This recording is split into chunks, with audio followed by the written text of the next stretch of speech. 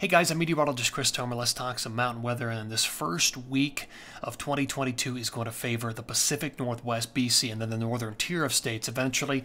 And then after that, parts of northern Utah and the central and northern mountains of Colorado. Let me show you where it's snowing right now. Jet stream is blasting the Pacific Northwest. Look at the wind and snow up in Whistler, Blackcomb.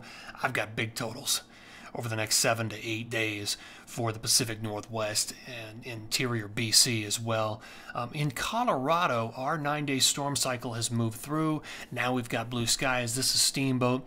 Uh, magnificent view. You can see the gondola running right there. I chose Steamboat because I think that's one of the places in Colorado that will start to really benefit on the 4th or later after the storm track begins to shift south and nail the central and northern mountains of Colorado. So looking good there right now. Let me show you the setup. And this is what it's all about. This trough of low pressure, you can see the low, the pressures will continue to drop in this area. And this is the same type of thing, very similar to what we saw develop and then basically push through that nine day storm cycle across California, Utah, Colorado, and New Mexico. This is not as big, but it's still significant. There's another low back here, which will also be part of the equation because the storm track looks like this. It's moving up and then it's dropping down and building this trough, and then the jets just ramming into the Pacific Northwest and BC and nailing that area. So all the energy will come up over and then dump into this trough, and then little pieces will eject into the Pacific Northwest and nail that area. Here's the target zone. It's this. It's BC, it's the Pacific Northwest, Oregon, Washington State, Idaho, Montana, and Wyoming for the time being. This first week, this is where the biggest totals are going to be. Then, on the 4th or later, the curtain will drop down into northern Utah and into the central and northern mountains of Colorado, and that's where the snow will then start to track.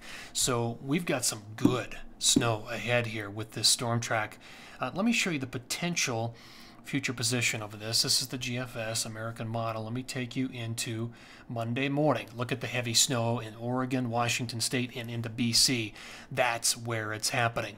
All right, let me take you from Monday into Tuesday morning. Look at that snow transitions into Idaho, northern Idaho, into western Montana, and then down into the Tetons, and also by Tuesday morning into the Wasatch and between Tuesday and Wednesday into parts of the central to northern mountains of Colorado. There's Wednesday morning right there. You can see kind of a northwest flow pattern setting up through Idaho and down into uh, the central to northern mountains of Colorado, the Tetons, the Wasatch. Let me take you into Thursday morning, still in many of those same areas, but a new low hitting the Pacific Northwest. All told, between basically now and the 9th or 10th, there's probably three or four different storm systems that will come out of that trough and nail the Pacific Northwest. So, got big totals. So, there's Thursday morning. Look at that flow, just absolutely slamming the Tetons. All right, dropping uh, into Friday morning, still snowing in the Tetons. Um, and then uh, let's take it into Saturday morning. Look at that snow dropping down into the Wasatch. Again, brushing Colorado. There's Saturday morning, and then it all exits. So we've got a good lineup between now and Saturday as it looks. I'm going to do my totals in two different time frames. So between basically all of today through the 4th. This is where the biggest totals are going to be up in the Pacific Northwest from Shasta to Bachelor, Timberline, Stevens, Baker, Whistler into interior BC. And some moderate snows there as well into Wyoming, Idaho, and Montana. And a pretty good shot of snow right there. Um, if we can get just the right wind direction into the uh, the Wasatch and just a little bit of that snow starting up in the northern mountains of Colorado. That's phase one. You know, here is timetable two between basically the 5th and the 10th and significant snows uh, through the Tetons and the Wasatch and the central and northern mountains of Colorado. I'd say one to two feet I-70 from basically from Crested Butte up to I-70, Aspen, Snowmass, Vail, Loveland, all the way up into the northern mountains, one to two feet, less to the south.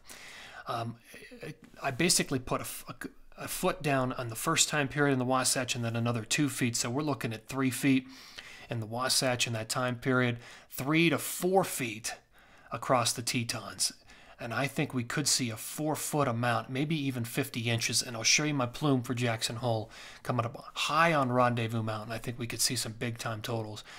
Um, but again, that's running all the way through the 9th and 10th. Um, still looking at heavy snow up there in the Pacific Northwest, interior BC. Look at Brundage up to Schweitzer, Discovery. Good snow through this time period.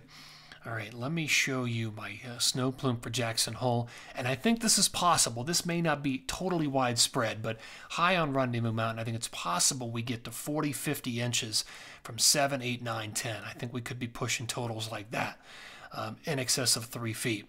If we can if we can get the right northwest flow into that area, I think it'll happen. So that's a possibility. Let me just show you again. So there's phase one today through the fourth and then phase two is right here. And this will take us through the 9th and 10th. You can see we've got some big powder days ahead, um, a lot to look forward to. I'll keep things updated right here. I hope everyone is having a great New Year's. Take care.